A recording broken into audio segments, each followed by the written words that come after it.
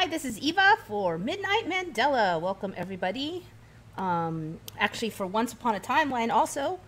I'm running a little late today. Sorry, kind of as usual. I actually only got home like 20 minutes before the show, so I was kind of scrambling to get everything set up. Okay, so you guys were talking about the Sphinx. I'm, i kind of took an extra minute to look at it. Um, for the the white red, why am I having trouble saying that? The white redwoods. Uh, if talking about the albino trees, we have covered that one um, a while ago, maybe like a year. Um, yeah, those are really weird.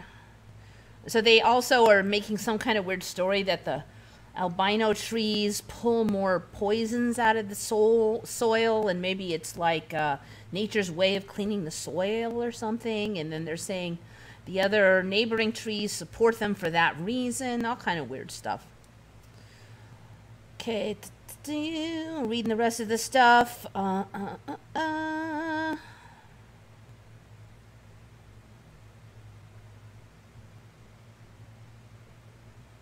Okay, if we're still talking about the Sphinx, last I checked, there was two of those ships they dug up. Um, I don't remember any ships in my old timeline. JW's in. Welcome. Going to work in a few hours. Welcome, everybody. I, I guess I was just too out of it to say uh, hi to everybody, but hello. Okay, so I'm looking at the Sphinx. One thing weird about the Sphinx, every time I just type in the Sphinx, and I get um, really different looking batches of photos from different angles every few months. It's like the old photos are gone, and you only see certain angles. Now, one angle I do see often is this one straight through the middle of the paws. Uh, but what I don't remember seeing from that angle is uh, this on the left side. I think there's that road now or something on the side. I have covered that before. So people are like, what's in front of the Sphinx? Okay, in the past, I've covered that I didn't remember all these brickworks in front of the Sphinx. Um, now I'm looking, does there, they have like a chair there? It looks like they've got a chair. And like, what's this stuff? I don't know if that's permanent, but anyway, you can really see the bricks. I mean, I'm guessing that's temporary, but this looks like brickwork in here uh, raised, which is the first time I'm seeing that. Interesting. And there's looks like there's some kind of pedestal thing here. Uh, I don't know if that's permanent. Okay, let's see what else we got.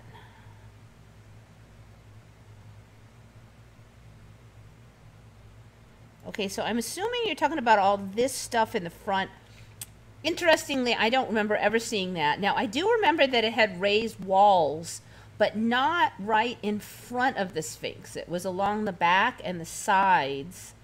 Uh, I think we call it with the, the temple enclosure or something. Um, they, I, the story was they'd kind of mined some of the materials and stacked them up along the side, but down the front was not stacked crappy whatever the heck that is. I, I don't remember that at all.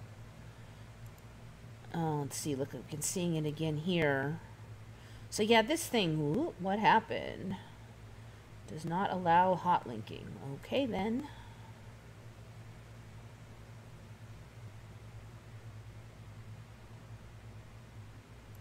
I'm just kind of looking at a few photos uh, to see if I see anything else weird.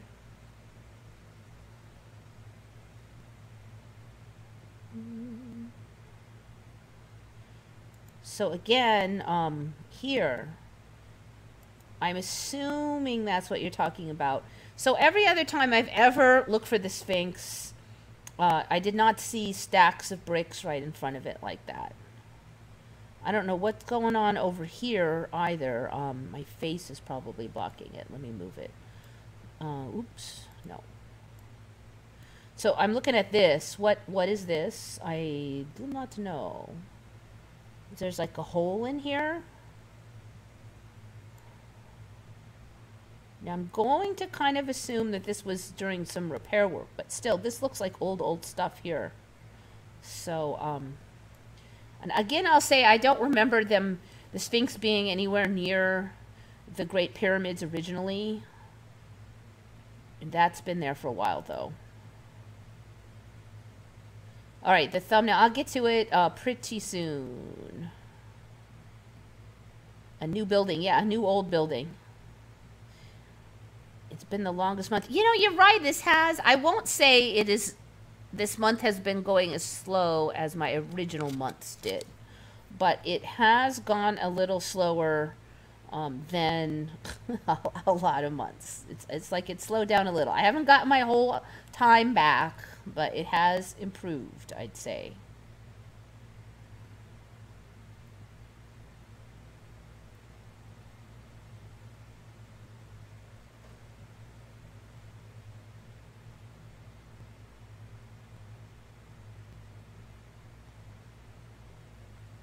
Reading, reading well. Wait, wait, wait.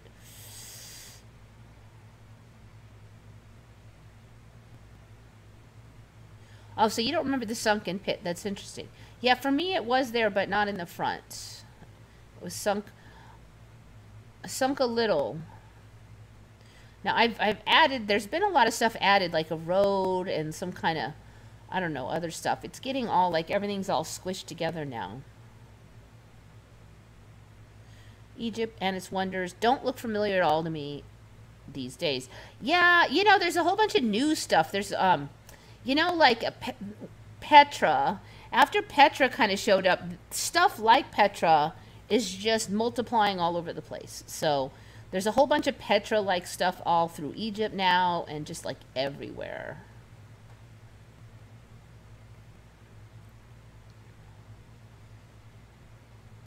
Mm, mm, mm, let's see what we got else. Okay, I'm going to quick uh, quick See, all these angles just look different now with the, the pyramid right behind.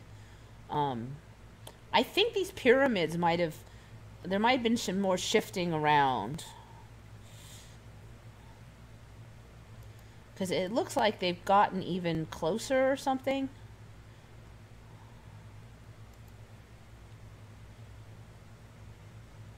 Yeah, whoever said that it looks a little longer, I, I think I agree with you. The Sphinx does look a little long to me. It always had the long paws, but it seems like the body has stretched out some. Now that you mention it, I mean, it was always long, but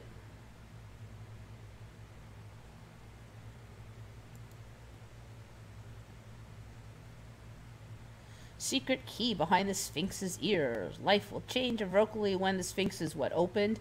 So that wasn't there originally for me. A couple years old Mandela. There's the tail. Tail keeps getting bigger. And it's pretty much all just repairs now. I mean, it's getting to the point where it could be anything under there. So for me, it was uh, rock, and the rock was weathered, but it was never weathered this bad. And it wasn't all covered with bricks and didn't have a tail, but that's all old stuff. Okay, here's another view of that um, stuff in the front. Look, there's, looks like there's even a little gate there. Hmm.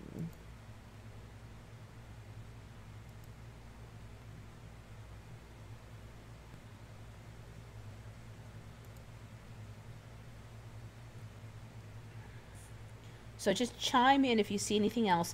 I kind of feel like this this area might be a little larger. This this little, um, I've said before I don't remember that originally, but it looks like it's kind of grown like this upper lip area. So I remember that being like one kind of thing. Now it's two kinds of materials. There's this smoother bottom and then this brick like uh, brick like thing, and I don't remember it being a two parter like that. I'm not sure I remembered this second one down here either. Um, and then having the pyramid right there, just it looks a little off. So all these images are now from different angles than the last time I looked.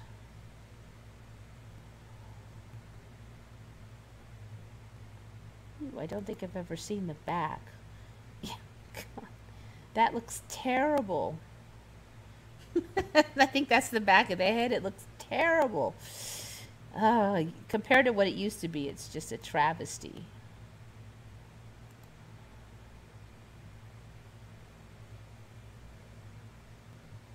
What is the Balochistan Sphinx?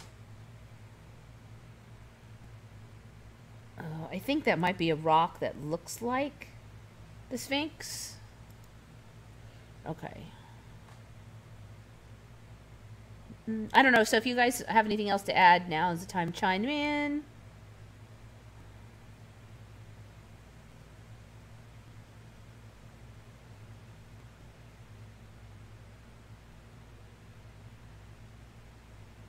There are several pictures of this pyramids where you can actually see the city buildings in the background. Uh, interesting. I'll just pop these in. Yeah, that would probably be the first time. They're finally allowing it to show in the images. Images.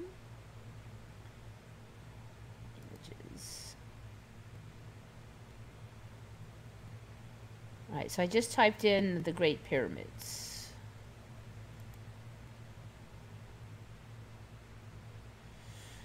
So now last I checked, this thing was like far away in front of this pyramid and it just looked like it was clamped on. But I keep wondering if this thing is, because of the weird angles that it always shows this on, if it eventually, it will become part of the pyramid. Because the pictures always make it look like it is. I, have, I haven't looked at that. I haven't checked that lately though. Okay, what do we got here? Okay, yeah, see now you can see some of the buildings and the pyramid in the background. They're still not um, coughing up a lot of the built up stuff though. They're just start look it's starting out small, some cars, one little house. All right, here's that one again.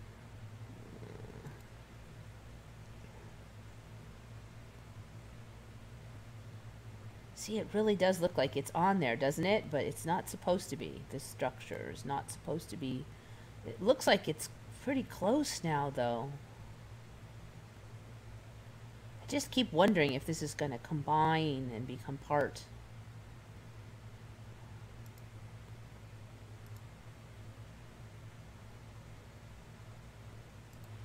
Okay, here's more um, image of that stuff in the front.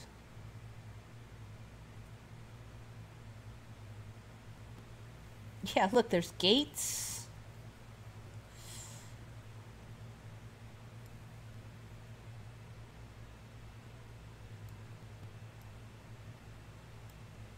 People walking. So I guess it's just all gated in now. Crappy gates, but it's gates. And this thing, huh, weird. Yeah, um... Hmm. So yeah, I agree. That's that's a new one.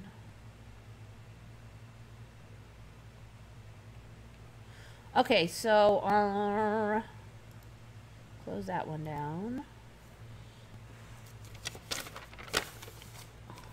Okay, so yes, some of you guessed right. The thumbnail is the Statue of Liberty.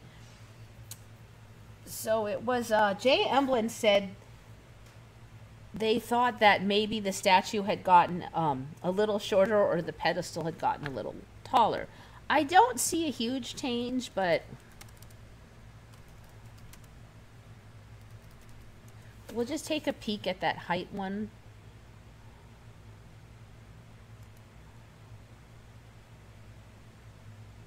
This is the, wait, no, that one's the warped one.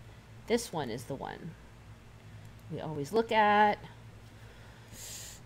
So it does look to me like the pedestal is probably taller than the statue now, or it's really close.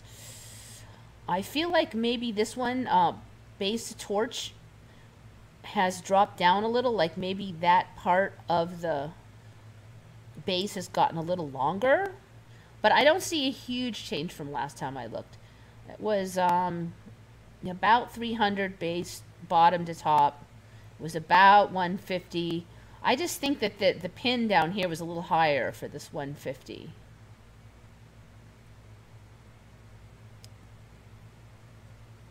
And I do remember it this pin here being at the bottom of the statue for a while, like on the green part.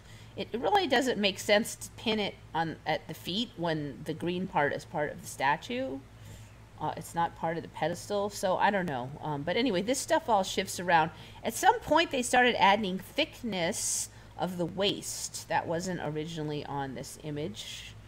Uh, yeah, it got thicker. So uh, what happened, though, is when I was looking at this, so I just was like, okay, let's just look around. Actually, go to this one. So I looked at some of the known features, the back of the hair. I looked at the feet. And then I looked at the shackles, because I don't remember shackles in my original timeline. Let's see if this one will do it. Okay, ooh, this one's a perfect image.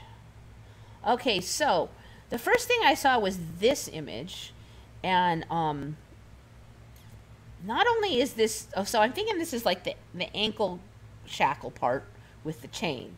This is a little bigger than I remember. It's not placed how I remember, and then I'm like, where's the other one? So I remember there being two of the leg braces present, and I didn't see the other one. So this one got bigger, and that one uh, is gone. And I actually looked and looked, and it's it's gone, gone. So now this chain just kind of disappears underneath the robes near the feet. So then that foot is still shackled, basically.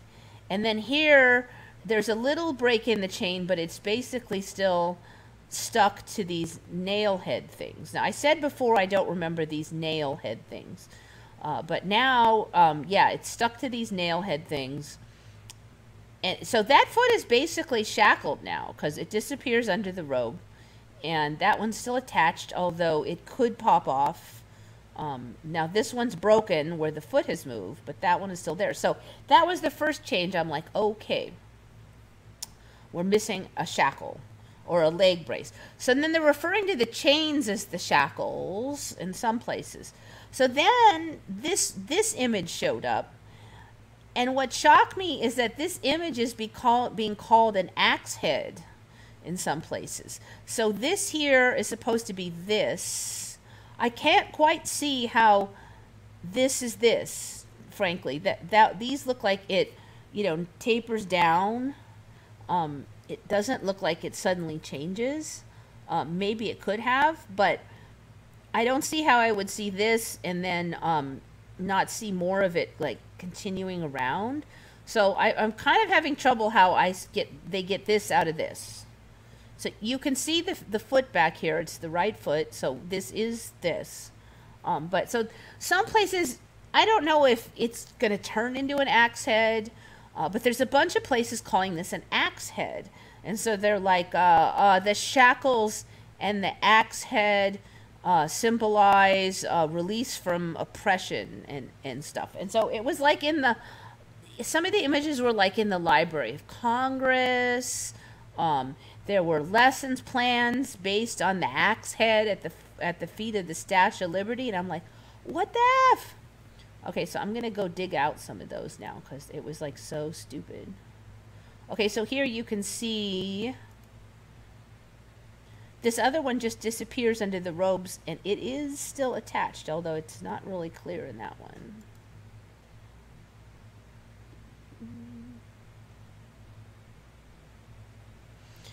And the other thing I noticed is um, there's very few images of the feet now.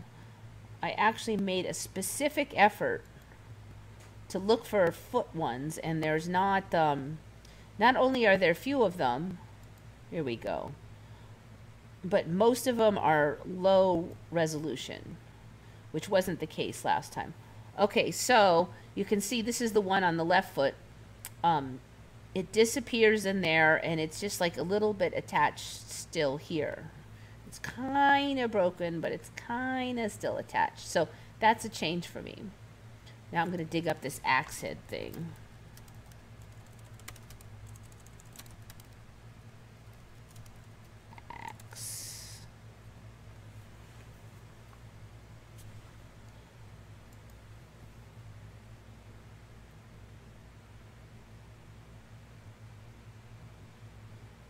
Okay, so this is a government photo here. Broken shackles, axe head, and right foot at base. And that's uh, the image that I pulled and I just kind of snipped off the top during the repair. So I don't know, did some doofus like see that and just assume it was an axe head because they never heard of the shackles, which also were a Mandela for me, um, or what? But anyway, it's like in Library of Congress, it's on government websites. Um, let's see, what did that say? Okay, I don't think this one mentions the axe head. But I mean, is anybody wondering what the hell an axe head is doing down there?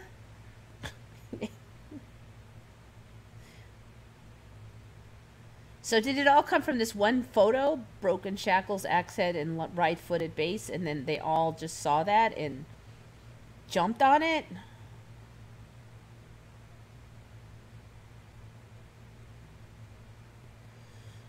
Anyway, so I did find some other. Um, there was some other explanations of it. Then they're just like, oh, it symbolizes this and it symbolizes that, and I'm like, is it even an axe head?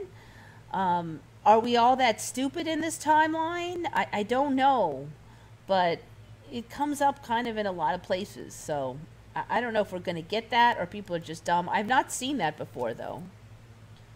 Rivets is new for me. Yeah, those big nail rivet things. And there's all these like staple marks on uh, the Statue of Liberty too, but I, I, covered that last time. The base wasn't the base wasn't that high for me, but uh, it's been there a while for me. I've I've talked about that one before. Yeah, there's more and more. It's like a layer cape. It keeps adding layers onto that base. And now, you know, there's like this whole story about the base costs more than the statue. Well, yeah, it's huge now. Book is gone. It's a tablet. Yes, it was a book. That's been there a while, though, that tablet.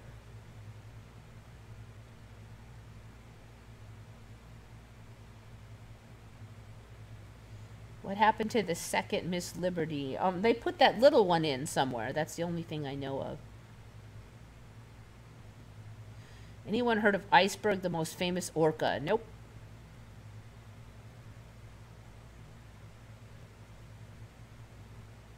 Yeah, the size of the statue and the pedestal seem to be approaching equality. I don't know what's up with that. I mean, when, since when does the pedestal actually, when you put up a statue, since when is the pedestal the bigger deal than the statue? So the storyline now is that that was a star fort so there you have your Tartaria stuff. There was a star fort there, and they kind of modeled the, the pedestal after the star fort. That still doesn't explain why it's so freaking high, though. Yeah, no change originally for me, but they've been there a while. I thought in this timeline it came from somewhere else. Okay, so the original story I grew up with was it was a gift from France. Uh, but now it was like a fundraiser from a dude in France, but a lot of the funds were raised in America too, and it was a private endeavor. And he originally was going to build it for the Panama Canal, and then he switched it to here. And uh, so it's not really a gift from France, but it still did come out of France. It's just not a gift from them really anymore. The shower. So there's one ankle bracelet left and then one not. 8.2 earthquake outside of Alaska. I know Alaska gets a lot of them. Iceberg is as famous as Migaloo, the most famous humpback whale. I don't know. Maybe I'm just out of it. I don't watch enough TV. So these guys are probably new, but I don't know anything about the most famous humpback whale either.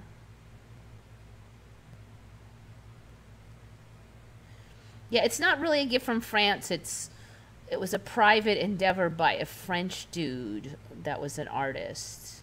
So he fundraised for it.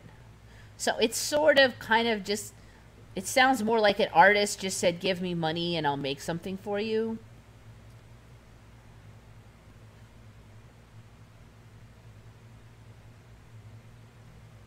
Albinos. Oh, oh, albino whales and stuff. Okay. Yeah, yeah, those we didn't have those before. Migaloo. So what is it? It's an albino something.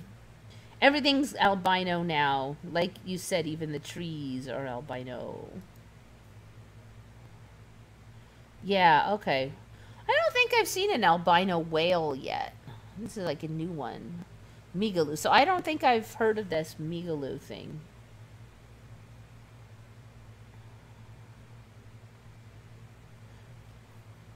It's almost getting to be like old hat, this albino stuff. I'm waiting for like the purple whales and stuff. We, we're getting like, I want to see the rainbow glow in the dark sparkle whales.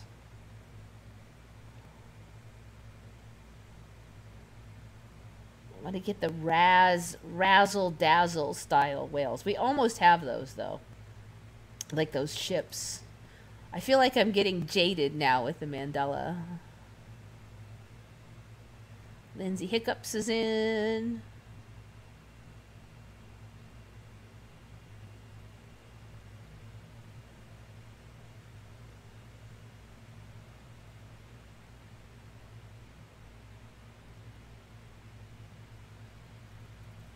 Oh, sorry, I haven't heard about the 600 children bodies washed up in Germany flood. That's sort of... Alright, I'm just going to check it out.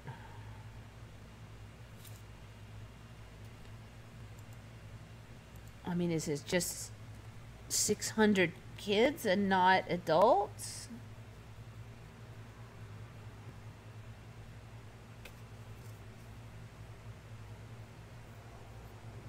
Okay, so they collected them all and laid them out at the gym. This has been kept secret from the public. Hmm. Okay, so I don't know. It sounds like this is rumor mill stuff. We don't really have confirmation.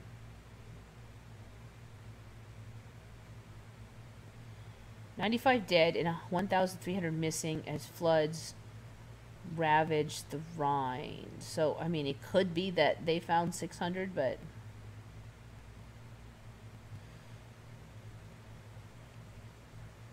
But I don't... I don't know, you know, the internet is the internet, so... It's really hard to know if any of this is true or not. Operation Disclosure... I mean, I'm assuming there's no photos or anything. Nope. So it's just somebody's claim.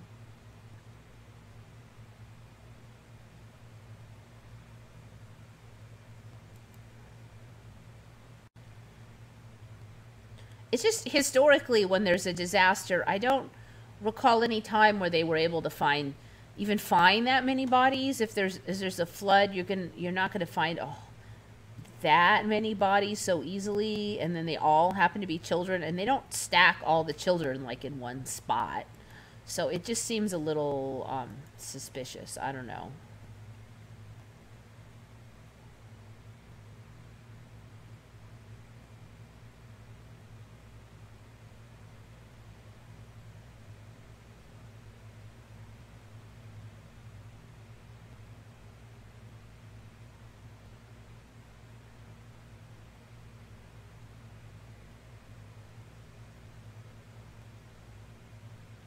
Sparkle glow whales eating bioluminescent jellyfish.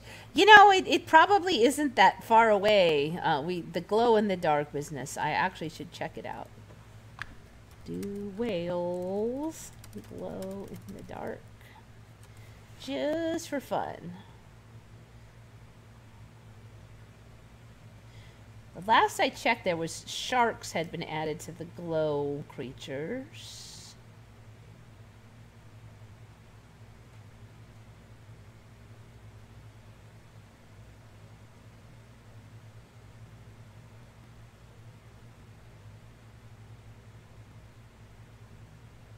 Nope, does not look like we have the glow whales yet.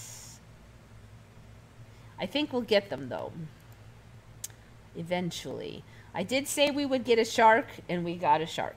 First, it was the uh, black light glow sharks, and I'm like, we're going to get a regular glow shark, and we have.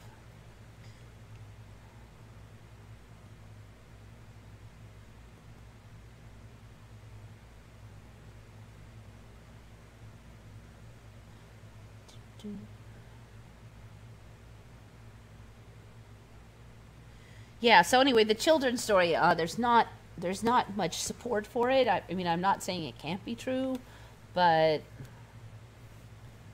I mean, any kid thing could be true, but I I wouldn't. I need to see more data on that. Okay, so that's the Statue of Liberty.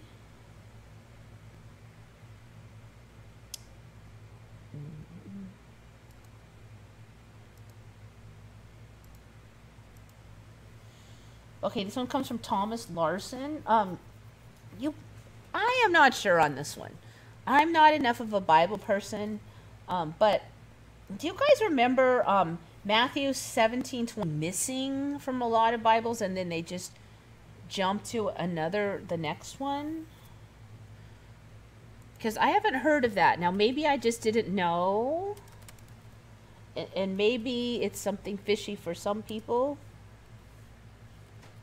But then when I read the reason for it, I don't understand what on the bleep they're talking about. Like they do they actually expect anybody to understand this?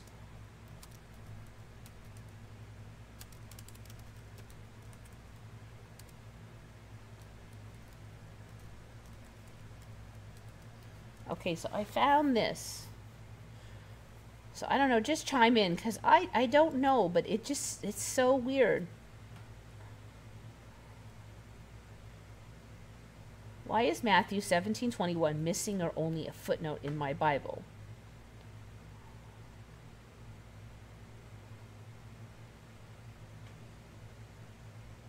Okay, so before we explain, they have to review the context in which Jesus made this statement. 10 5 8 tells us that Jesus had given his disciples power to cast out demons. But sometime later, in Matthew 17, we are told that they could not cast out a demon that was causing a man to be a lunatic. We are told in this passage that consequently Jesus cast out the demon and then explained to the disciples why they could not. There is an important lesson for us here. Some will say the disciples lacked faith, but Jesus explains that the faith they had was not enough to perform an instantaneous exorcism. They needed to fast and pray. So, you know, I do not remember that part where um, they needed to fast and pray. So I agree with that. So apparently that's the part that some places are leaving out. I actually really suspect that it's some places have slid in. Something fishy is. I, I feel like this is getting like shoehorned in. Okay, so Lord have mercy on my son. He's a lunatic he falls into the fire and often in the water, blah, blah. Okay, and I brought him to your disciples, and they could not cure him. And Jesus answered and said, and this is another part I don't remember. Jesus said, O unbelieving and perverted generation, how long shall I be with you? How long shall I put up with you? I don't remember Jesus ever acting like a parent that was sick of our crap. I just don't remember anything about him saying, How long shall I have to put up with you? Uh, somebody comes in for help and he's like, Oh, how long will I have to put up with you? I don't remember ever any such statements. And Jesus rebuked him, and the demon came out of him. So he rebuked the person, but then the demon came out. And so even that sort of is not very nice because he uh, rebukes the person and then the demon comes out. He doesn't re- rebuke the demon. And the boy was cured at once. Then the disciples came to Jesus privately and said, Why could we not cast it out? And he said to them, Because of the littleness of your faith. For truly I say to you, if you have faith as a mustard seed, so shall you shall say to this mountain, Move from here to here, and it shall move and nothing shall be impossible to you.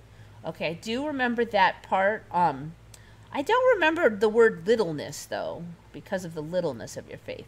But I do remember the mustard seed.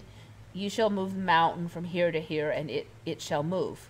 Uh, this was kind of a favorite one because it basically said that if you had faith, you can perform miracles. You could move a mountain. You could do all this. It wasn't just Jesus; his disciples could do it, and he's saying it's because of faith. So that's why when people perform miracles, um, I don't know why the religious organizations always say it's demons, um, because it Jesus does say if you have faith, you can do all these things. And now with the Mandela, we see that the mountains are moving. So um, you didn't think that that was literal. It's probably literal. Okay, so then, um, all right, and nothing shall be impossible to you. But this kind does not go out except by prayer and fasting. Matthew 17, 14, 21. So, um, this is the part I don't remember, and I think it's been added. This kind does not go out except for by prayer and fasting. I don't remember that being stuck on it to any of the faith rules, by that you okay, you can't have the faith without the prayer and fasting. Um, I don't remember anything like that.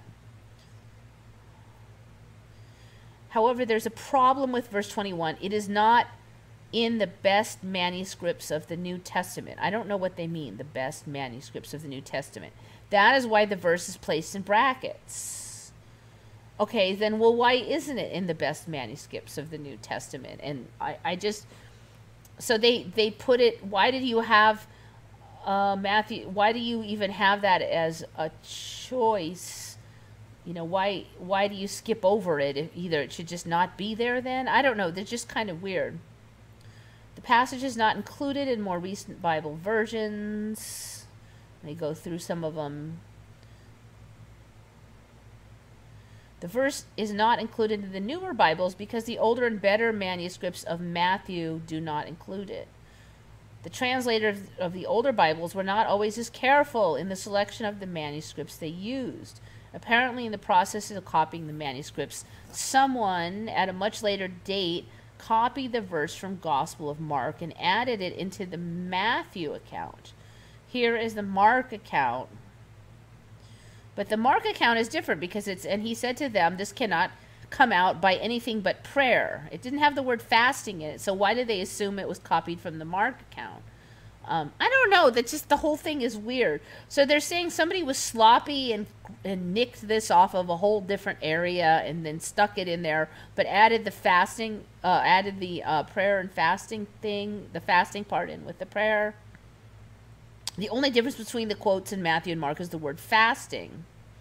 Okay, well, if he nicked it, then why is there fasting? I don't know. The whole thing, it does not make sense to me. And I have not heard of it. I feel like they're trying to shoehorn in this prayer and fasting business.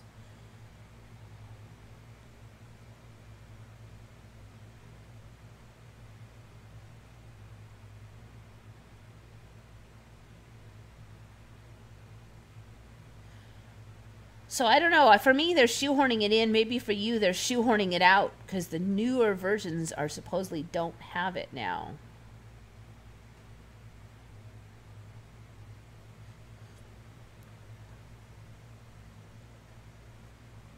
Changes around Britney Spears videos are getting ridiculous. You know, I sorry, I just never followed her enough that I could help you with that one.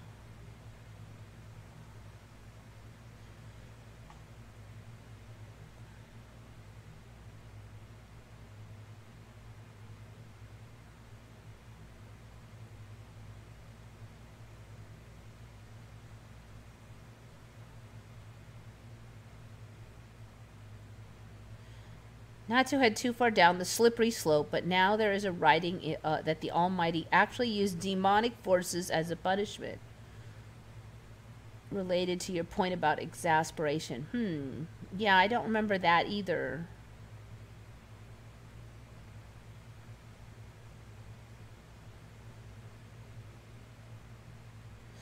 Okay, so that one, that one's from Thomas Larson, and he was basically just asking what I remembered, and I'm just not really sure on that one. I don't remember ever reading about the prayer and fasting, though, personally. I've never seen that. So I guess in the current timeline, you could say that maybe the version I looked at didn't have it. I don't know. Okay, so this next one comes from Shari. Shari D found this, and I don't know. It's we're gonna have to be careful the words we type, uh, just so that we don't get like some kind of um, adult um, too adult for the average person porn like uh, statements for this. I probably should put it on the back, but. okay, so good old Henry VIII. You know him as the guy who had the uh, giant turkey leg in the painting, now doesn't. Now, I did cover that I felt like his uh, photo had. So he first he had a turkey leg, then he was holding the glove instead. And then last time I said, look, there's a whole bunch of these portraits now, and they all look different than the last one I saw. And one of them had this giant cod piece. Okay. So apparently these cod pieces are like a thing now. I didn't really pursue that. I just was like, I've never seen uh, outfit like that with the cod piece. So apparently that's like becoming a thing. Now I have said before that I don't remember the stormtroopers having like that much of a bulgy area. I didn't remember C3PO having that much of a bulging area. Then I didn't remember uh, Henry VIII having a codpiece thing. Well, now uh, Henry has brought it to the next level. Okay, maybe I should type it in like this. Okay, wait. Can't remember how I found it. Henry. All right, I think this is how we do it. All right, where did it go? It's so ridiculous. It is so ridiculous. I'm sorry, but apparently you can't make this up. It's supposed to be for real. This was his armor. The King Henry VIII's armor was this. Okay. Now, does that look safe to you? I mean, wouldn't the sword just like slam on that thing and get stuck? Wouldn't you want it to like bounce away and have, you know, a slick, smooth surface that it skitters off like you what if they hit with an axe or something and you can't tell me he needed that big a one.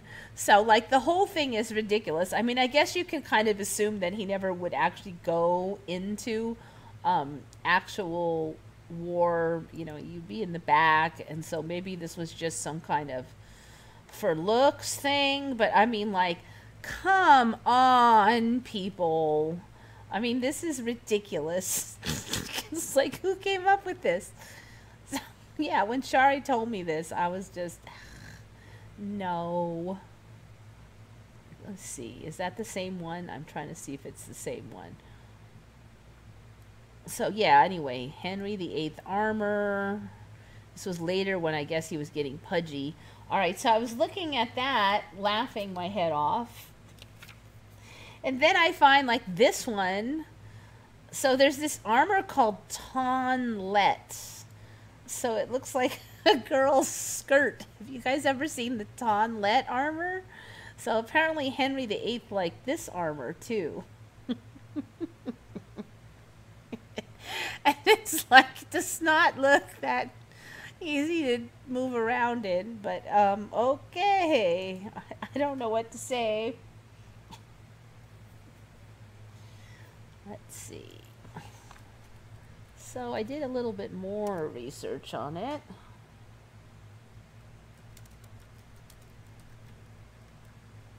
Oops, why did you do that?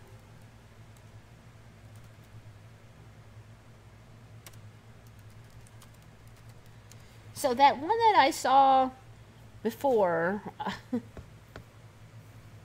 and I forgot about this one. piece was a weird Renaissance fashion trend. That's even more ridiculous. I mean, there's these people can't actually be like going into war with these because those are totally not a good way to protect yourself. All right, let's see. Dang, there's a whole bunch of these articles. I was looking for an article with this title, but there's like 10 of them apparently. So I'll just have to click on the first one and see if it was useful. Okay, so now apparently this it wasn't just that one photo or that one uh, portrait of Henry VIII. It was a thing. So like check it out. Have you ever seen uh, this?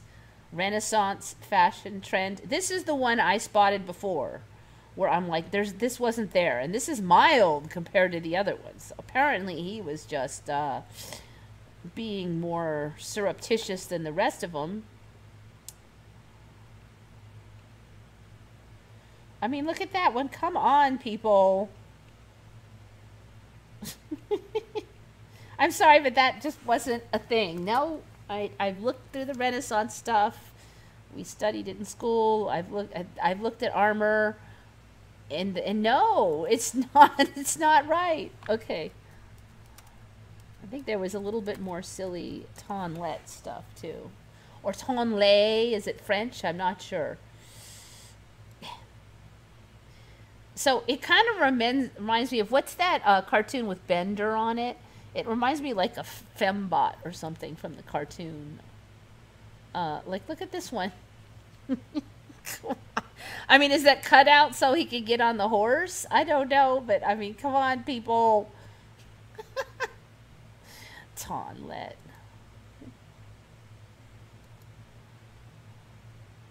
Check this stuff out. There's no way. Henry VIII's Tonlet armor.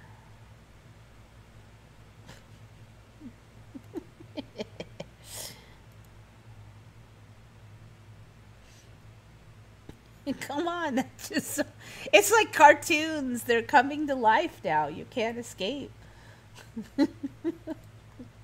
this one has a nice little. I mean, come on. It's like a total. Um.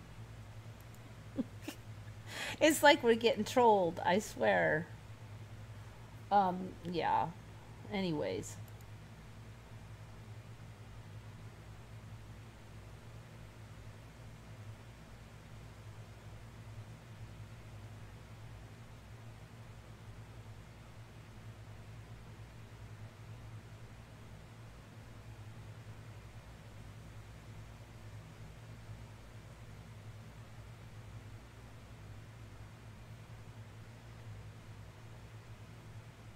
That bulge was not in any painting before. Yep.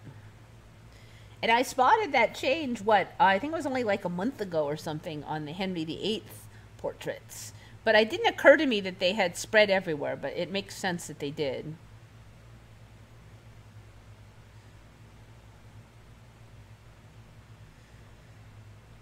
So apparently the timeline really likes its cod pieces because we're seeing those even in Star Wars, you can't escape the cod pieces.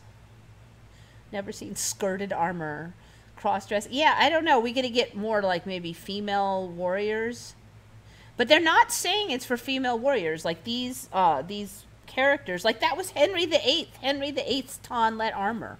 So it was, uh, and it was made all like pudgy style for him.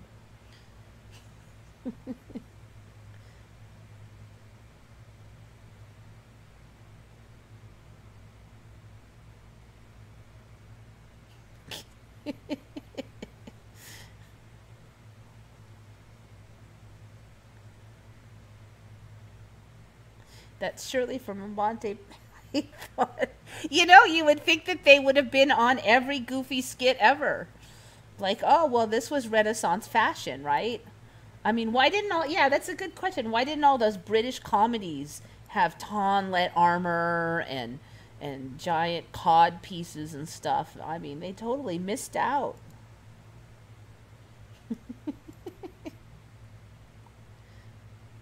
I mean, check that out. Come on, people.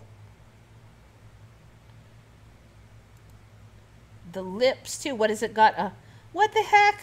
It's got like a, a frowny face, a mustache, and looks like some kind of no, what is that? It's like a fish face or something. What's up with the feet? Look at those feet. What is that? Oh, come on. What is this even? Is this even real? Restoration armor. Okay, re- so it's real? I mean, it was really like that with the feet? What is that? That's like the fish man or something. Who has feet like that? What the heck? Nigel Karen. Let me just see what this is. Early decorative tonlet armor for a boy after restoration. So this is original armor for a boy. What's wrong with that boy's foot? What is the deal with that? That's insanity. Let's see if there's any more on this restoration. All right, the rest of these look a little more normal. Still, that's craziness. What would be the point of having a foot that wide? I don't. That. Are they going to use it to, like, kick people? Your foot is a club? This is just weird.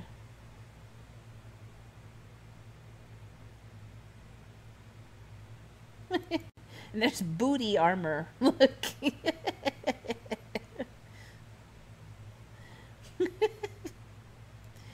I'm afraid to ask what's going to come next. There's another one. Oh, Pinterest, so I can't really chase that down well. I kind of want to see what that one does. That was weird. Now, I think I've had this one on.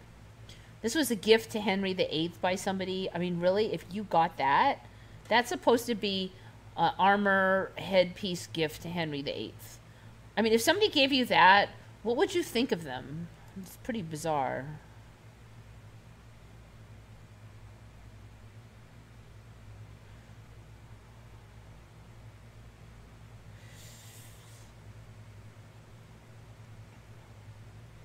All right, so I think I have that one covered.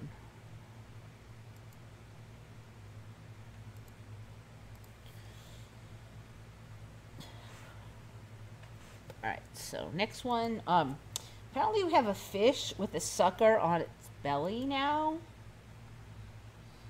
So yeah, all that. So the um the goofy um man parts armor was Shari D. So good find, Shari. All right, so we have, and there's a bunch of these. Have you ever seen a fish with this with like a clambon sucker on it on its belly? These are so common that there are even stuffed animals of these. I have never seen these. The, the lump sucker fish. Okay, so um,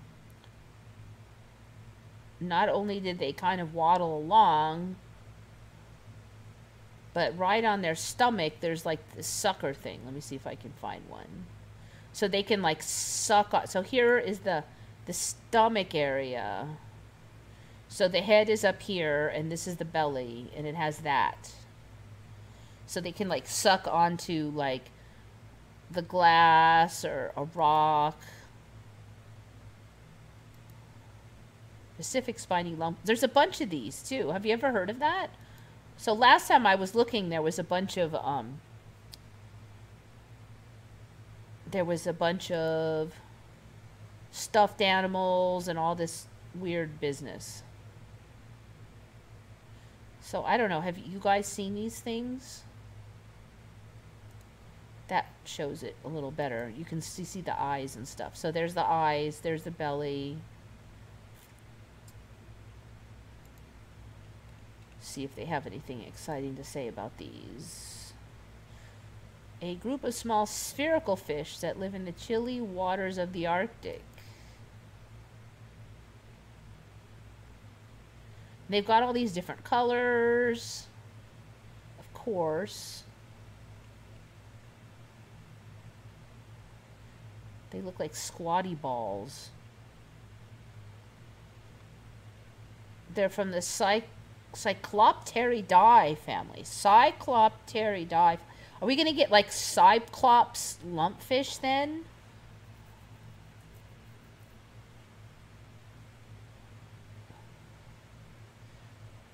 From the Greek words kyklos, how cyclo, cyclop from kyklos, meaning round or circle. I wonder, though, I, I don't know, is it just random that it just happens to say cyclops on it?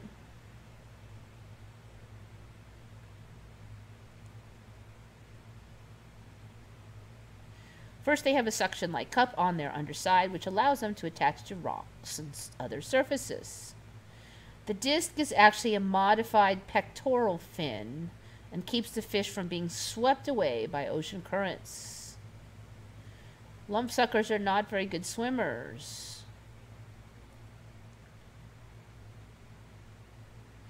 Lumpsuckers' suction discs also play a role in reproduction.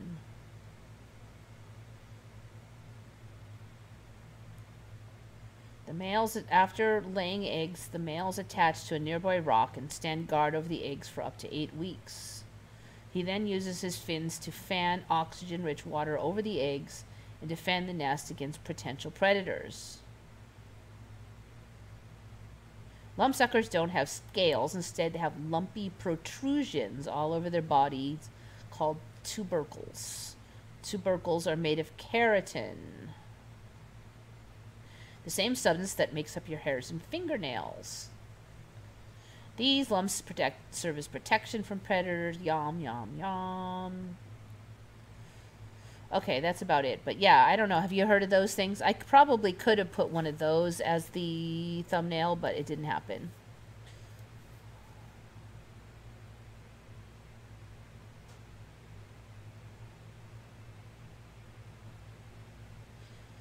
I mean, they're cute. I'll give them that. I wonder if they're going to turn into some kind of cyclops, though.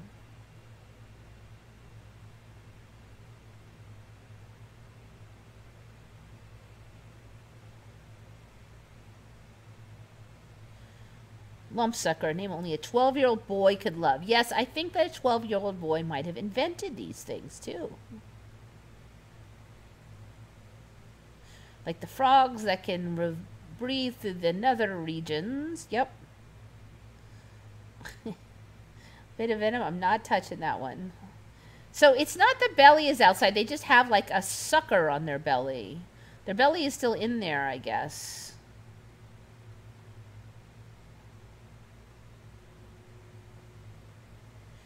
So as far as I know, they don't eat through it. They still have a mouth. I mean, that may change, but I haven't seen anything yet.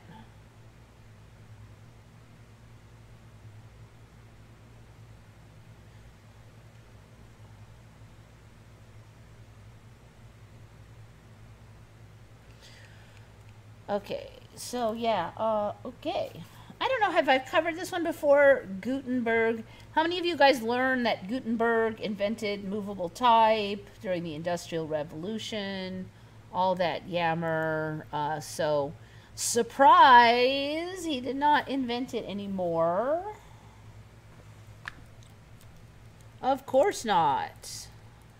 Now he only popularized it. I mean, what is the, even the point of having his name if he didn't invent it? Ooh, he popularized it.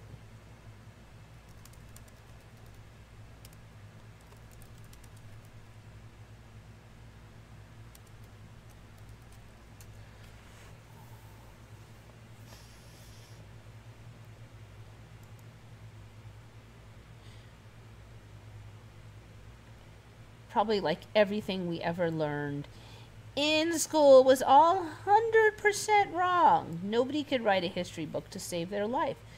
The weird thing is that when I got to high school, I had some uh, like historians that were actual, like, that was their love of their life. They weren't just teachers. They spent every waking hour and they weren't teaching, uh, studying history. During uh, summer break, they would actually go out to historical sites and research there and go through libraries and stuff and none of them ever disputed this stuff in high school that we learned, you know, Gutenberg and all this stuff. They had additional context to add and a lot of interesting stories to fill in the cracks. But none of them went and said all that stuff you learned was wrong. And these were, you know, absolute diehard. They just weren't teachers who slammed their lex- lesson plans together and were stupid. Okay, so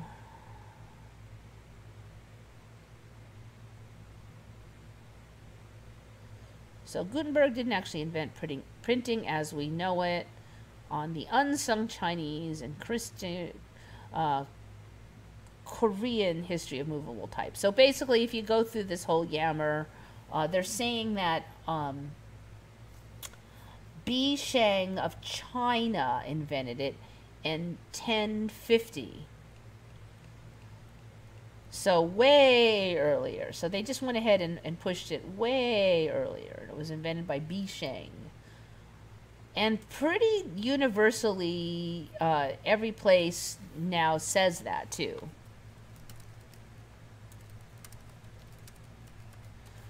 I'm going to risk it by typing it in, but.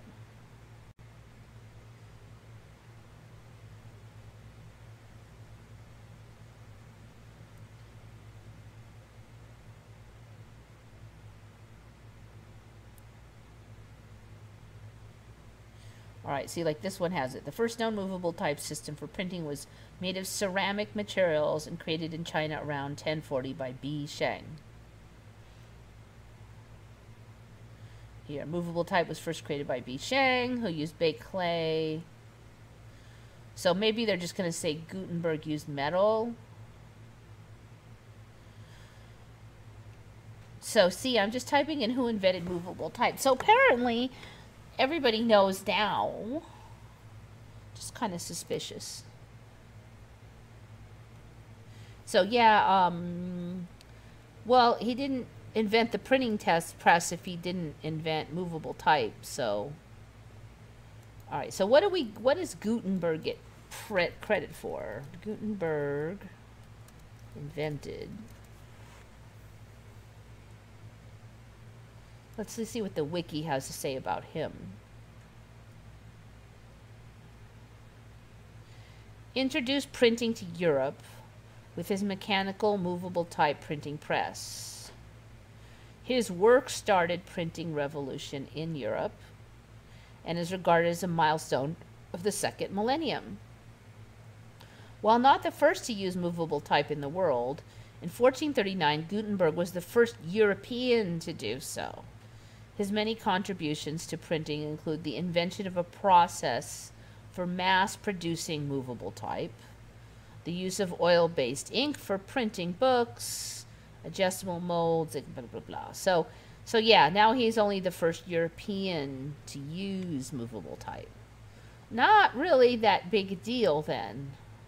It should be Bi Sheng who gets all the credit then in this timeline.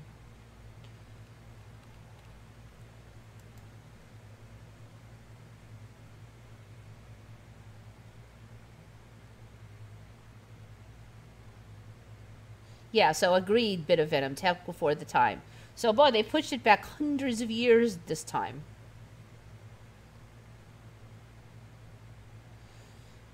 the logical danger is cracking open a beer. yeah, it might be bad if I did that.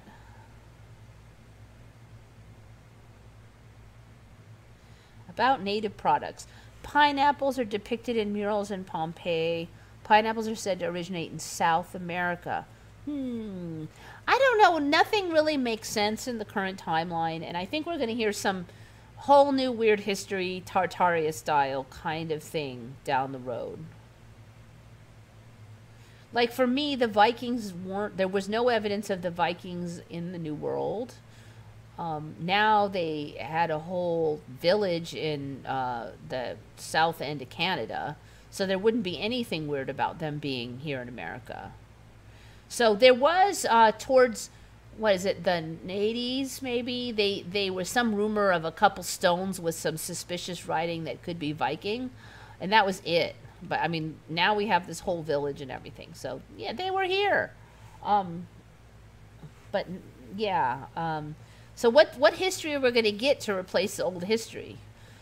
So if we get a tech before its time and more interesting tech.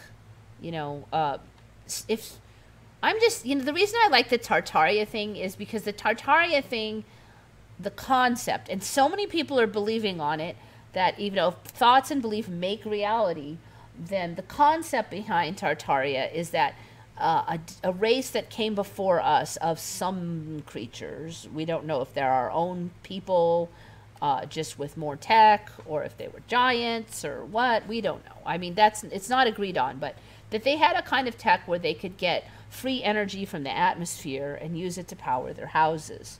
So you can see the allure there and if we have like a whole bunch of people believing on it really hard um, you know maybe we can get that. So that would be really cool, wouldn't it? So that's why I'm one of the reasons I'm really into Tartaria is I like it. I like what it could do for us. I think Tartaria could work in like a time into a timeline that could give us a lot of like good free stuff and easier living and stuff. So and um so you know pick the good timelines people Okay, this one was kind of a special one for me.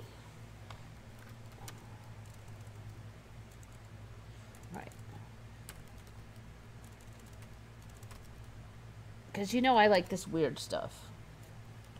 But it's not spiders, so it's probably worse, but oh well.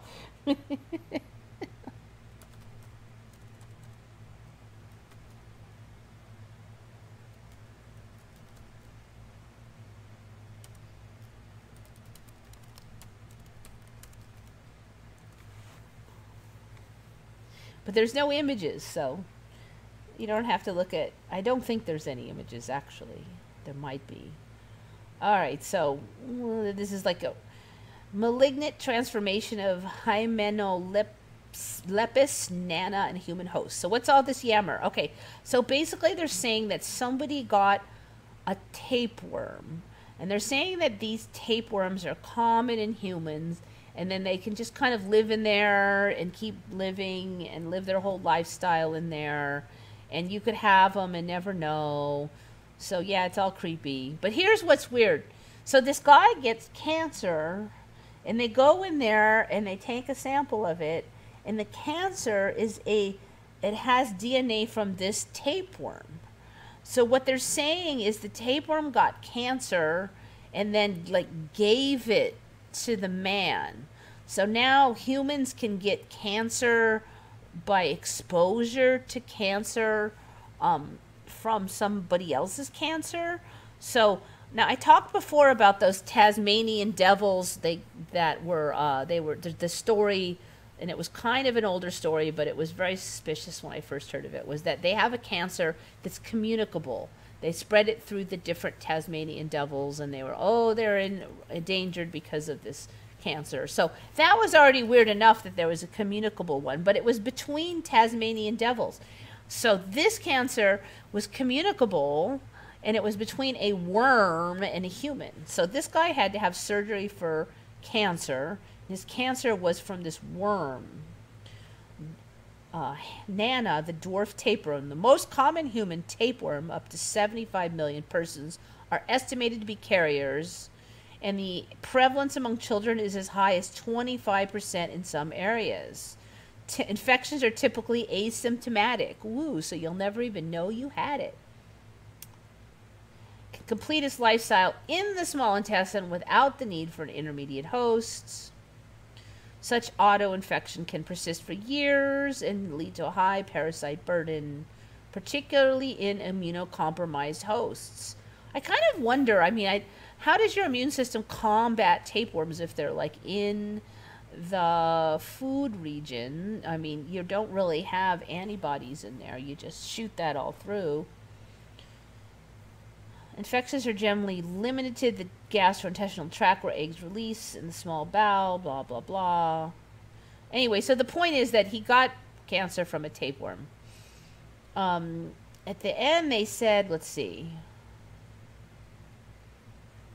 They said something about. Um, they said something at the end about this has importance. Oh, here, the host parasite interaction that we report should stimulate deeper exploration of the relationships between infection and cancer so I'm kind of wondering if they aren't going to go, like, if the timeline isn't going to go with this more. Uh, the cure for cancer. What if um, the timeline goes with infection as the cause of cancer, or maybe infection by something that we don't currently understand? Because they used to say that um, ulcers were caused by like stress, and then later they, oh no, we were wrong the whole time, and it's caused by infection. And so they give you like antibiotics to kill it. So I'm wondering if we might get that with the cancer now, um, just because the way it's kind of been moving. I, I don't know, but there's something very fishy going on with how cancer is now.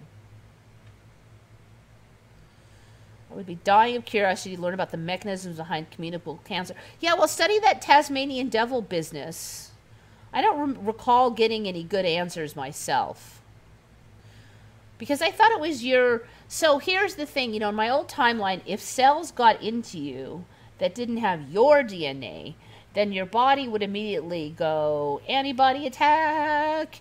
You know, so in this timeline, though, you can have like cells from your mother and even from your uh, older brother and si- sisters.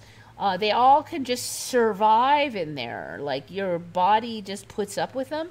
You can uh, you can adopt cells from like blood donors um, that they can survive. Uh, they can attach. They're not immediately destroyed. Uh, DNA, you know, the DNA. It's so one of the reasons the blood could be transferred is because it didn't have all the DNA, but apparently now it just you know, somehow gets along. And that's why we have these chimera people because they're like two siblings glued together in the womb and somehow they they tolerate each other. Now, there was kind of a thing well maybe somehow the immune system was still being formed and so it formed with this in place already, but now with this tapeworm thing, it's like no, no, no, no, no, no. why did the body feed those foreign DNAs? Why didn't it just go, ah, kill, kill, kill?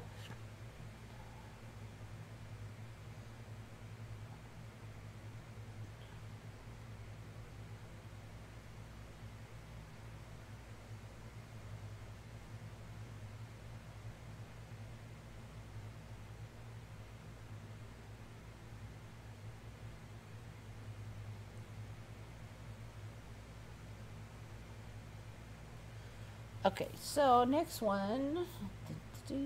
This one is from John Austin. Tesla logo.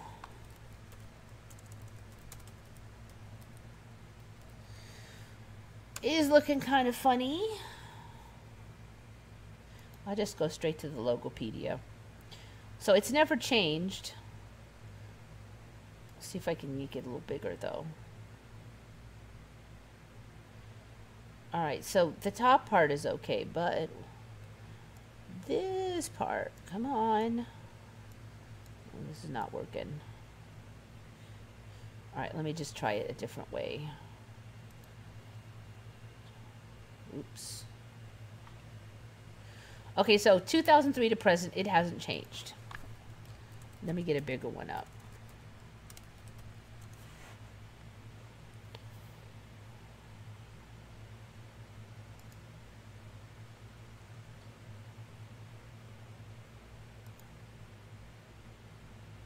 This one should be pretty big. Okay, so what do you notice about the Tesla logo? Does anything look weird to you? Dun, dun, dun. I'm going to let you uh, chew on that one. And then I'm going to go to the next one. So again, that's the logo. Technically, it's always been the logo. All right, this next one is from Joey Sinkovic. I got more see-through beasts. This time it's going to be an octopus. Glass octopus. So you can kind of see the eyes in there. So remember we had that one goofy see-through, that barrel fish that had a see-through front um, and then you the eyes were buried inside and it could just see out through its see-through head. Now i thought that was really freaky when it first came out but now these see-through things are like a dime a dozen and we've got this glass octopus and it's got the same setup where the eyes are like just kind of you can just kind of see them in there and the rest is all see-through so, yeah, pretty weird. No, I don't remember there being a see-through octopus before.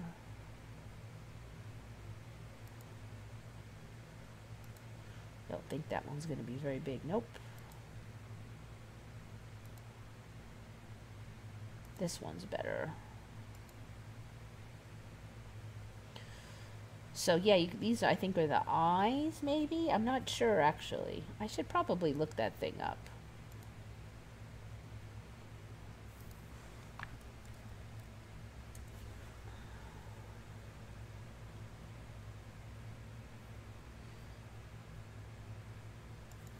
See what the wiki has to say. Is a transparent gelatinous, almost colorless meso to bathy pelagic octopod. Octopod. What's the difference between an octopod and an octopus?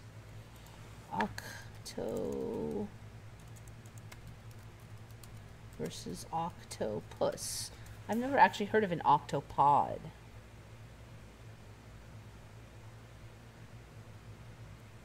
As nouns, the difference between octopus and octopod is that octopus is any of several marine mollusk, mollusks of the family, having no internal or external protective shell.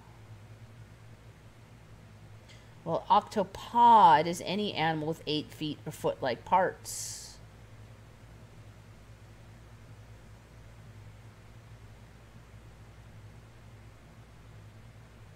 I don't think I really get it, but whatever.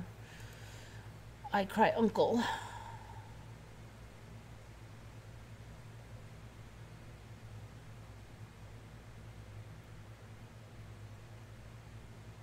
Well, there's like almost no info on this. I bet this will get larger.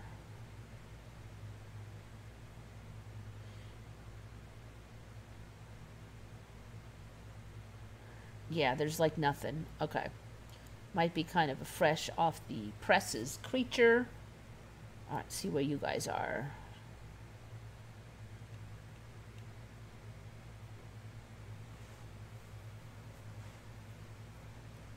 Octopod mom.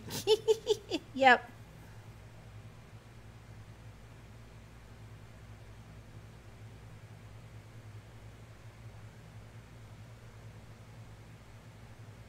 It's not an E, all these broken letters. Someone's asked about the triangle.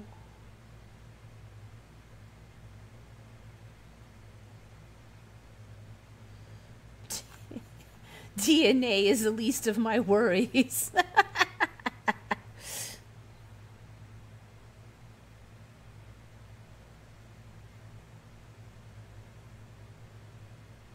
okay, so change of Tesla. Oops, there. All right, so I, I, agree. I don't remember the A looking like this. I think it was more A-like. Um, and that was what uh, Joey Sinkovic thought. I also don't think I remember the E being like that, but I'm not as sure. The A definitely looks weird. Uh, the E, know, I'm, I'm not as sure on that one. But yeah, that's a pretty weird looking A. All right, so there's that one. All right, this one's another one from John Austin. Uh, do you guys remember ninjutsu?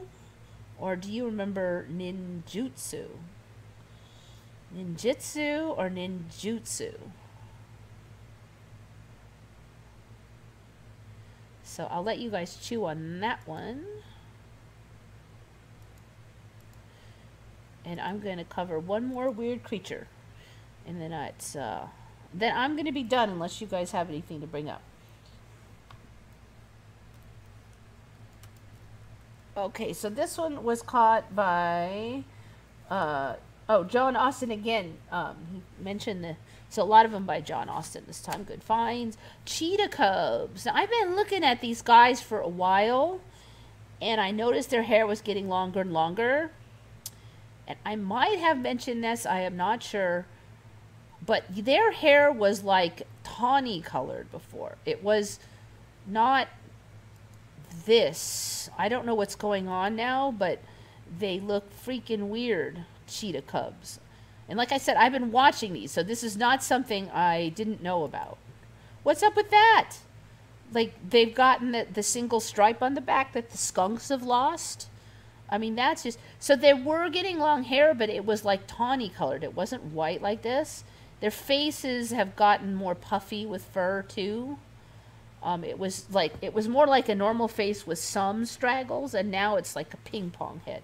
But this is the real striking part here. There's no way that they had all this happening over here.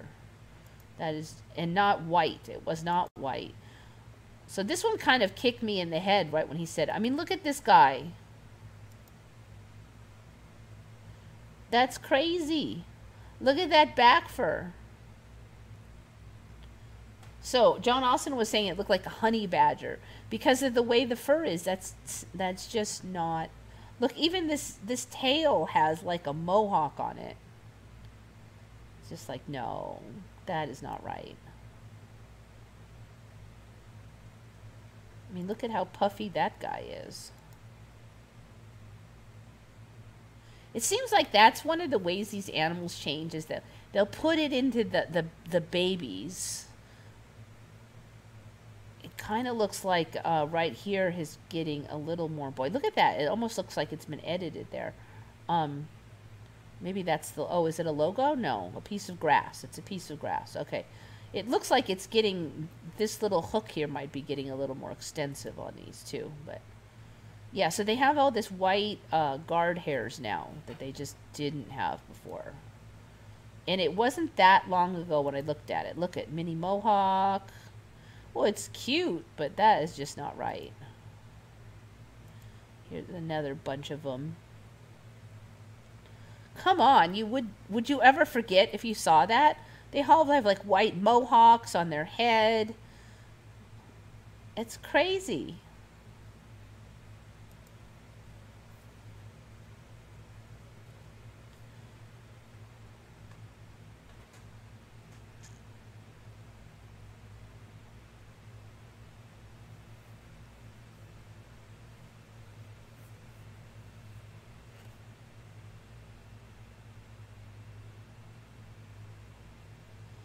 Mohawk cheetah. So yeah, they, they roll in these changes with the babies, and you go, oh well, maybe I didn't remember how the babies looked. Uh, but then slowly the changes like percolate into the adults. So the adults are getting longer fur also, but not as fast. Jujutsu. So ninjutsu or ninjitsu? So jujutsu, it's are you guys are all watching a bunch of manga and anime because it's it's just the martial art, the real one, not this the stuff that um. It's not the stuff like on TV. Ninjutsu or jujutsu. Ju, it's hard for me to say it. Um, ninjutsu or ninjutsu.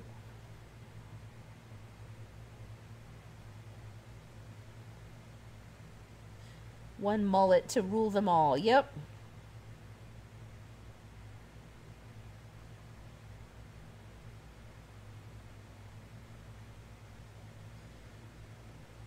For me, the E was not connected, but it was more of a pyramid like. Yeah, I don't know. There's just something about the E that ain't right. All right. Bill Knight remembers ninjutsu. Monty Hendricks remembers ninjutsu. Capalicious 420 remembers ninjutsu, Broadneck's caster, ninjutsu. See, I yeah, I remember ninjutsu, and then when like those um animes came out, they would call it the jutsus when they would do the funny hand signals, right? And they, oh, that I, I, don't know what where that came from, but that was the first time I ever heard of jutsu. Um, was anime or manga, and ninjutsu was the actual real life um, martial art for me. Ninjitsu, again, Crunchy Bee.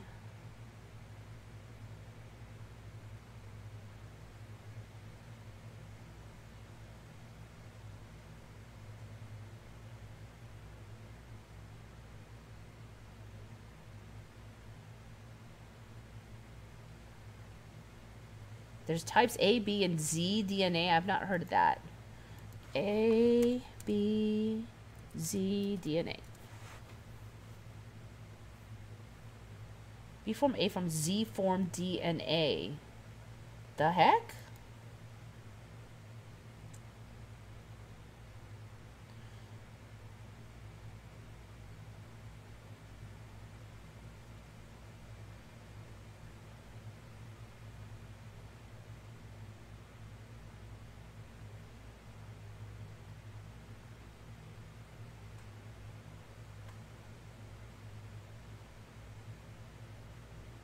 All right, they're just talking about the helical formation.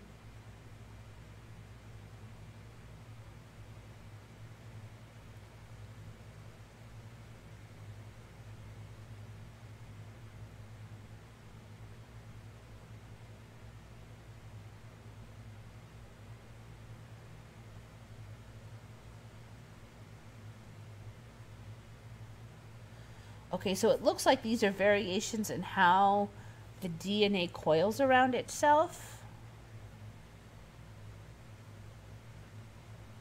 Three different forms of duplex, duplex nucleic acid have been described. The most common form at neutral pH and physiological salt concentrations is B form. That is the classic right-handed double helical structure we have been discussing. A thicker right-handed duplex with a shorter distance between the base pairs has been described for an RNA DNA duplexes and RNA RNA duplexes. This is called A form nucleic acid. A third form of duplex DNA has strikingly different left handed helical structures.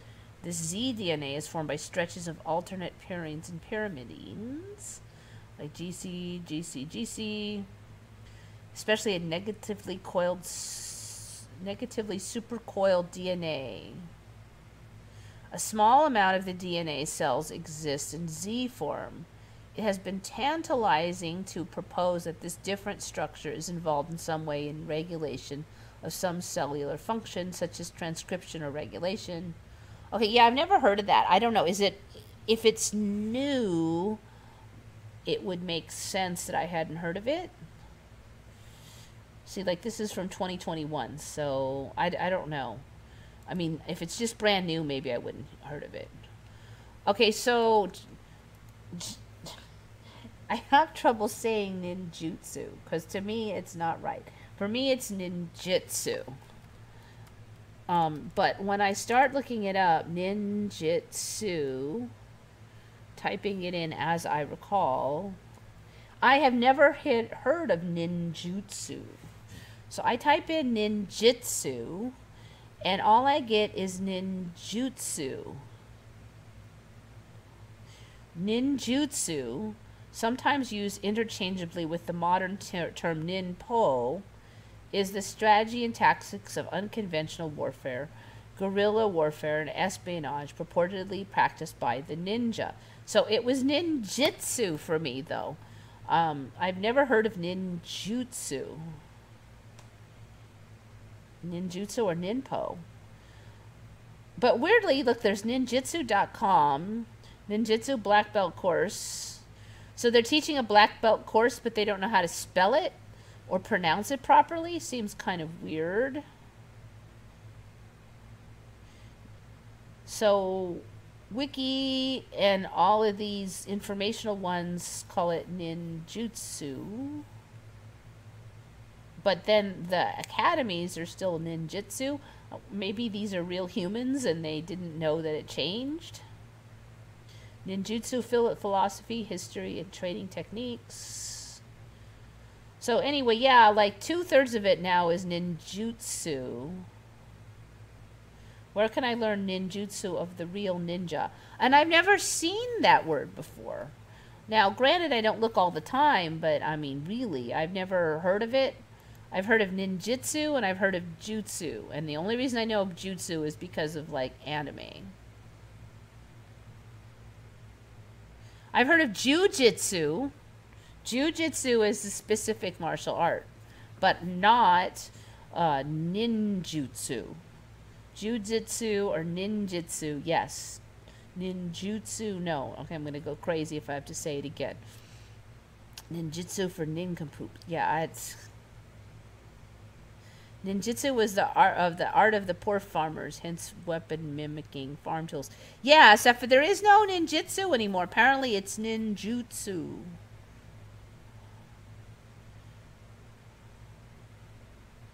So, ninjutsu is different from jujitsu. Jujitsu is a specific um, martial art that is not ninja style. It's just like upfront fighting style. There's different ones, obviously, of upfront, upfront, but it's not the one where you sneak around and assassinate people. It's a different one. So there was jujitsu and you know karate and there was ninjutsu but now it's ninjutsu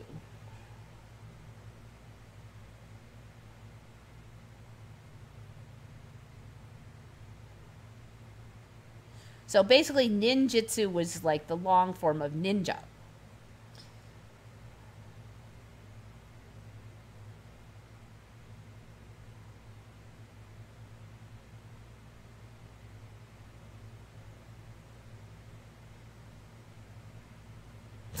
I know I have trouble saying it.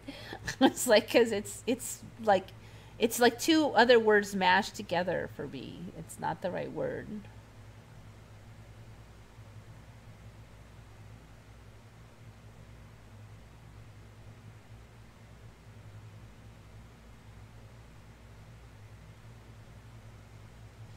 Those are mudras with fancy markings like spelling. Yeah, that was kind of like how um, jutsu was for me.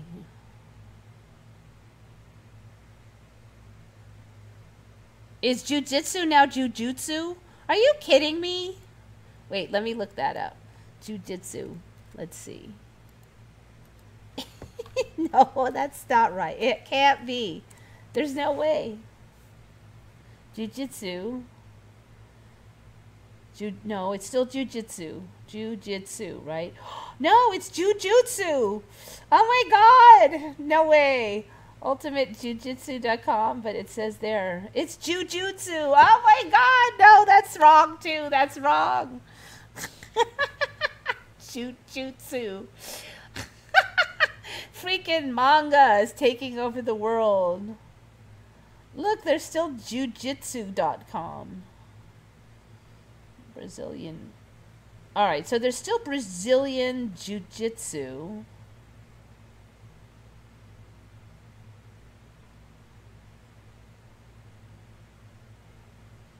Maybe the takeover hasn't been. I've never heard of Jujutsu, though. That is just wrong. Jujutsu Kaisen. So maybe they're two different things?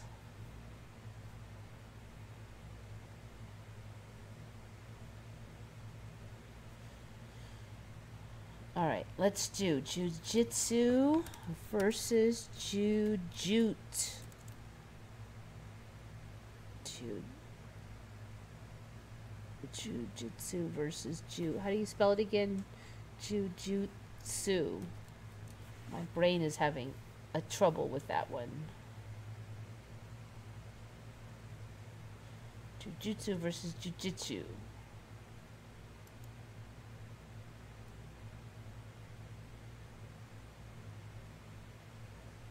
What is the difference between jujitsu and jujutsu and jujitsu? In Sweden, we only have jujutsu, and I have noticed that in the USA they have both jujutsu and jujitsu. Let me get rid of this cookies thing.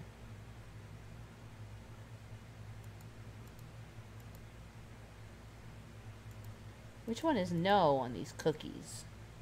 Alright, I think that's no.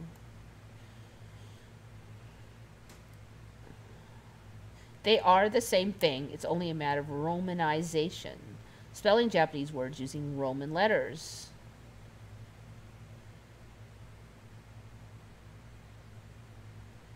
Huh. So maybe in some times it was jujitsu and some it was jujutsu. I come from the jujitsu timeline. That's all I and, and the ninjutsu. It sounds like like everything was itsu for my timeline.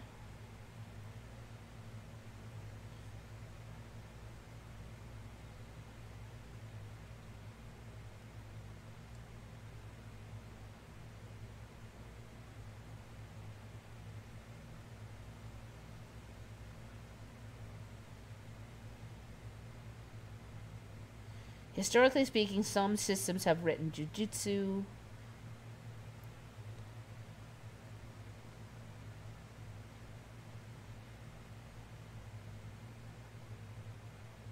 However, if I had to say that a specific one is the best, I'd go with jujutsu, as it seems to be the closest English analog one could get.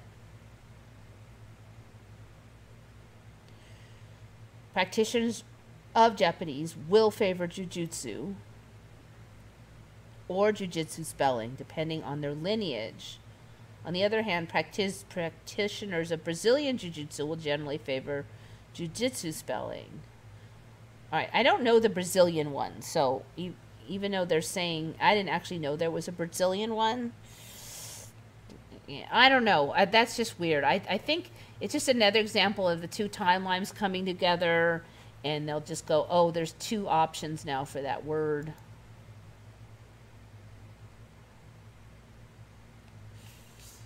We see that with a lot of stuff. There'd be like, you come from a timeline where there's one version, and then suddenly they're like, oh, you can have these three different versions are perfectly fine.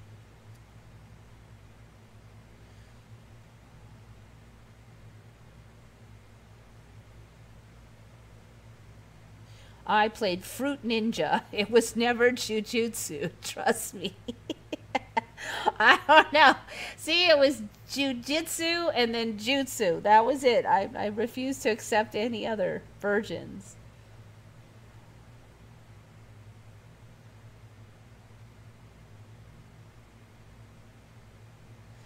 Jujutsu is brand new for me, but typing into the phone, it corrected me to say jujitsu.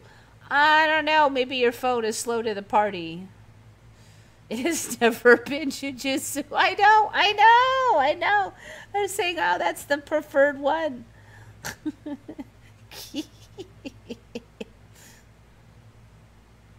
what is the ninja official color?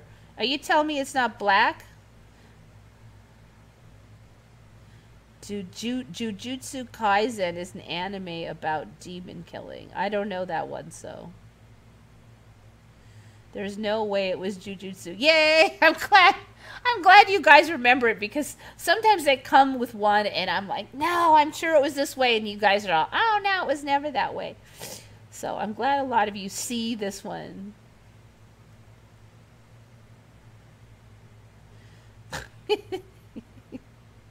Brazilian Jiu Jitsu. I know, I know. I didn't know about any Brazilian Jiu Jitsus.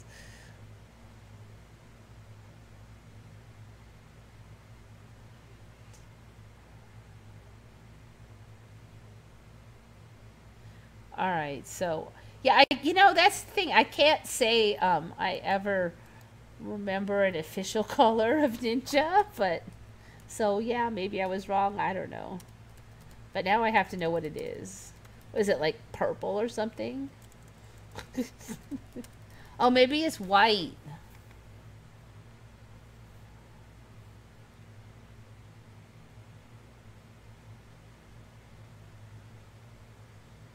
All right. Um, how do you find it?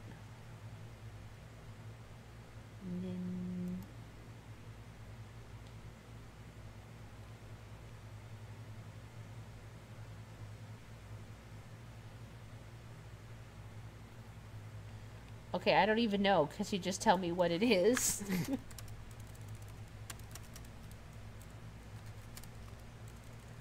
Official ninja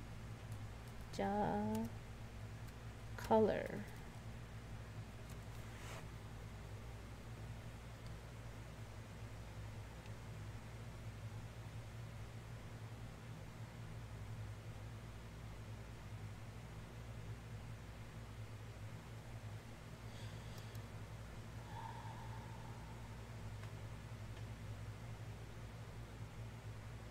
I, I'm not finding it, so whatever. I don't know.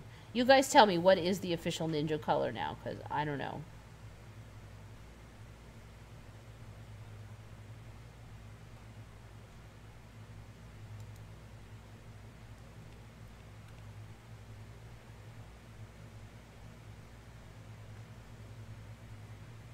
It looks more like dark blue than black. Hmm. Okay. I mean, I know there's belt colors, but I, I assume that there's like one official color for the rest of the clothing, maybe.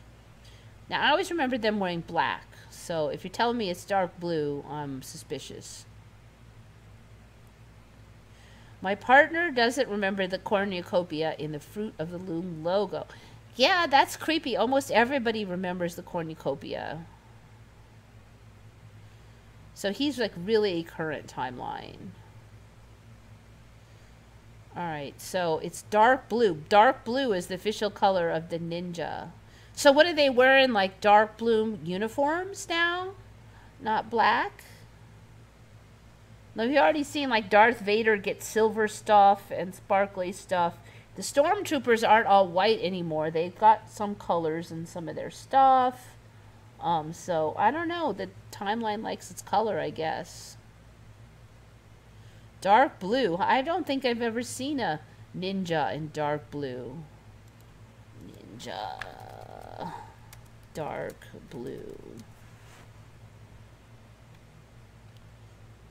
Did ninjas wear black or dark blue?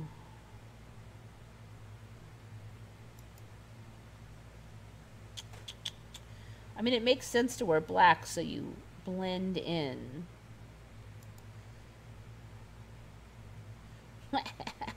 a ninja is a samurai, usually from lower nobility, who specializes in ninjutsu. He may be a spy, blah, blah, blah.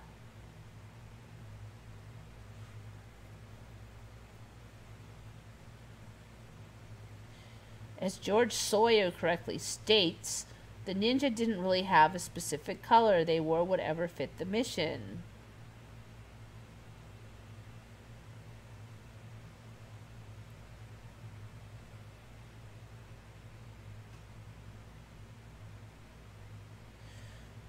So the black on nights with no moon and white on nights with moon.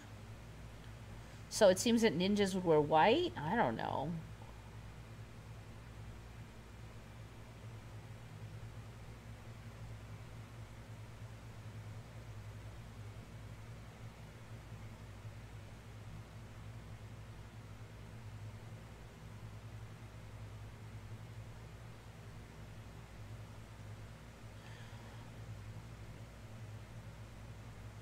They didn't wear black. That was purely a move of convenience in cinema.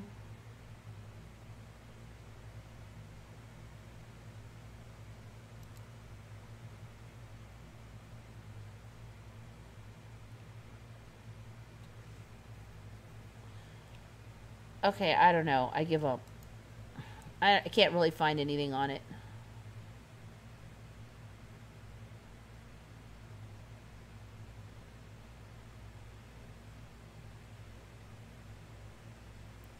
Everybody was kung fu gaslighting. yep. That's this timeline. I've seen white, red, and black, but mostly black. I don't know. Maybe the timeline hasn't decided yet. Dark blue is the official color of my mood. Well, it could be worse.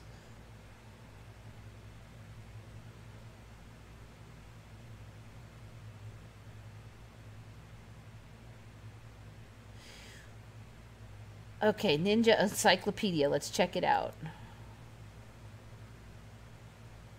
There could be like 500 timelines on this one. That's why nobody could agree. The most famous type of ninja outfit, black cloth completely over their body, black hood, blah, blah, blah. But what type of costume did a ninja act, wear usually?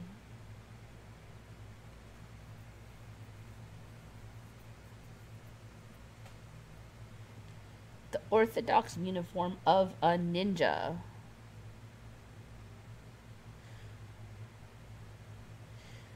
You know, I think this has to do with the night sky here.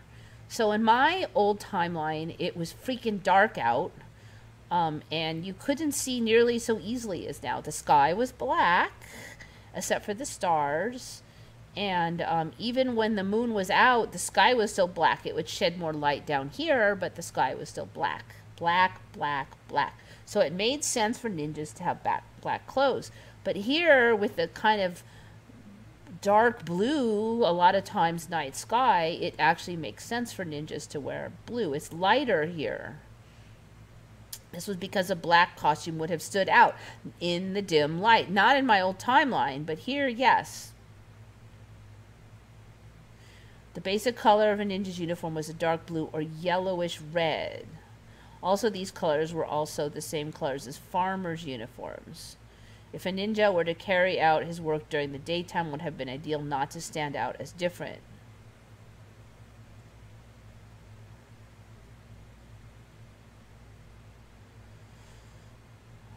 Uh, they had a chain hemp garment. I've not heard of that. The chain hemp garment. The heck? The chain hemp garment was used only when there was a battle and hand to hand combat was imminent because it was very heavy in weight. They weighed. So, what? They had some kind of chainmail thing?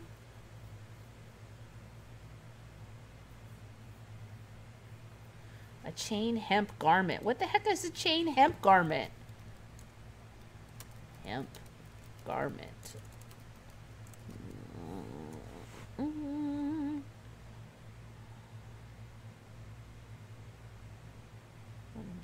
why am I seeing underwear here? Ninja. Well, let's just add ninja into there. Narrow it down a bit, maybe. Alright, it's still the same thing. Ninja armor. Ninja in some cases wore this chain-linked hemp garment under the ninja clothing. Clothing. Shinobi Kachu. It was Shinobi Kachu.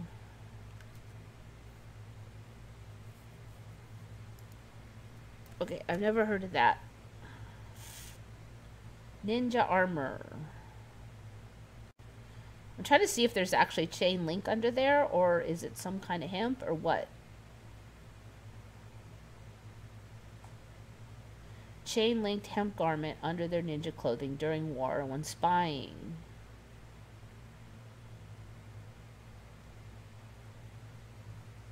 There's not much info on it. You would think that they would say what it was.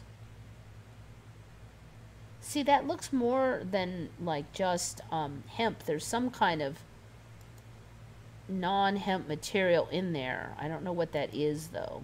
Pieces of wood, pieces of... I don't know what those are. So they had some kind of armor, basically. Hmm.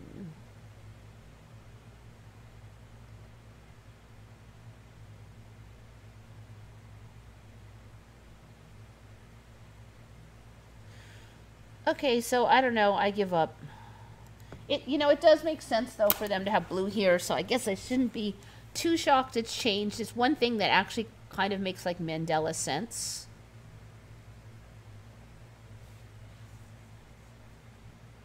Yeah, Lindsay, I don't know. You know, if they don't want to talk about the Mandela, you can't do much. If they start to get sick of it, I would definitely back off. Um, because they'll just there's a point where if you nag on them, you know, to them it'll be like nagging if you keep bringing up and they don't want to talk about it. They'll just push harder against it. So sometimes, you know, if you back off, sometimes they'll come around. Chainmail wouldn't defeat the purpose of being sneaky. I don't know, but guess they had some kind of quiet ones. I've never heard of it though. Yeah, does it have a skirt?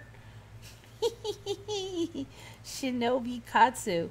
Let's see what other images we've got here.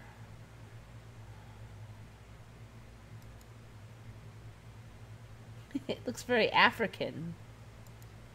Uh, what's this? It is a little skirt-like, maybe. With an overall look. yeah, check it out. They have a bit of a skirt going on. look, look, look.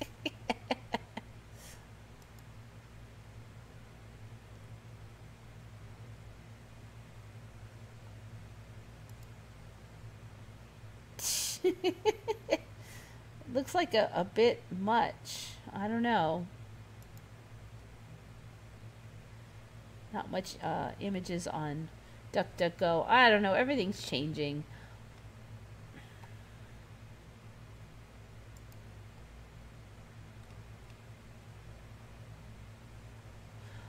I do think I remember him kind of having like a, a low skirt, like the ninjas. They because it was like a tunic basically. It didn't flare out, and these ones don't. So I can't say it's different for me.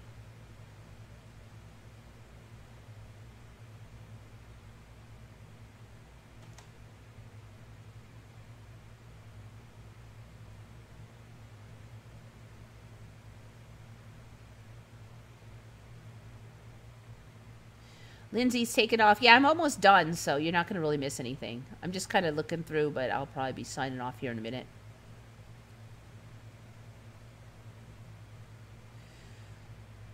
Broadnets and Lindsay, my husband started talking about it after I had some after he had some crazy experiences. Yeah, sometimes um, that'll work if you back off and give them some space and then something weird happens, well, they know who they can talk to about it without you saying they're crazy, right? So then once they see some weird stuff, hmm, then it's a little easier to be more open minded about it. I do think we're all going to just see more and more weird stuff, though. It, it, I don't think it's going to stop. Ninjas know what's good. I feel like that's going to be some idiocracy saying, you know, or, you know, that old movie, that silly movie. Ninjas know what's good. Okay, anyways, well, I'm pretty much done. So, thanks, everybody. Yeah, proselytizing does not work. You know, if people get upset with you, then they'll start uh, thinking of that subject and they will pair it with their upsetness and they'll just get like more upset next time.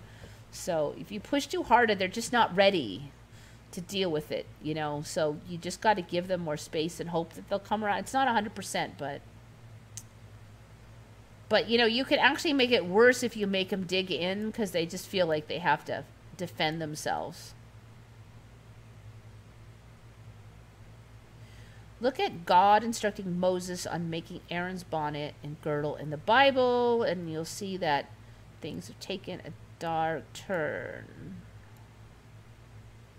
Alright, I'll check it out. Real quick, real quick, and then I'm bailing. I, I don't really like to end it on such a negative sounding note, but